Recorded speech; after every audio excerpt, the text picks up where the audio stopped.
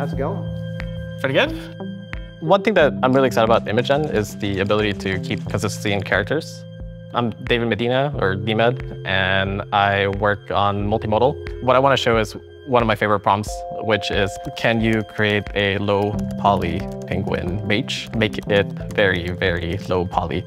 Surprisingly, it's sometimes hard to get very good low poly outputs. It's not like other image generation models where it tries to generate something based on just the text. Instead, it uses the large language model understanding of what does the user want, what is the intent. I also like some board games, so miniature-like games. So what I'll do now is generate a uh, miniature from this. So ideally, we'll see a penguin that looks like this with the same staff and, and a hat. So can you make me a realistic miniature as if a professional made this and painted it.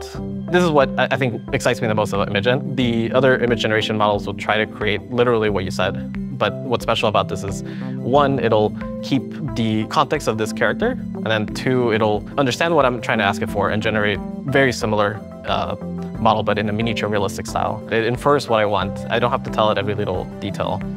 One other realistic thing we could do is, can you make a crystal version of this with light reflecting and very realistic. Again, I'm just giving a very, very simple thing. Normally, this is not enough for other models to generate something very detailed, but the model understands what I'm asking for. It'll think what type of style it should have. So this ability to really understand what the character is and make edits and understand what the user wants, for me, it's the, just an amazing capability.